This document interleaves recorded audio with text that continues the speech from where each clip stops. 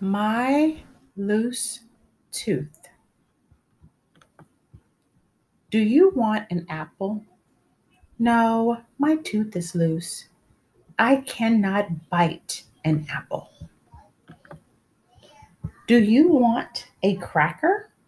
No, my tooth is loose. I cannot bite a cracker.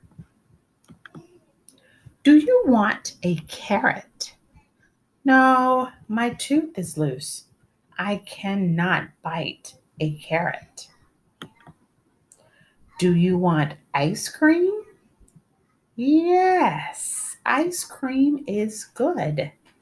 I think I can eat ice cream. Here comes Rex. Oof! Easy, Rex. Hey, Rex knocked my tooth out. Thanks, Rex. Now I can enjoy my ice cream, and so can Rex.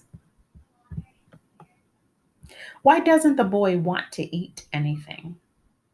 How does the tooth finally come out?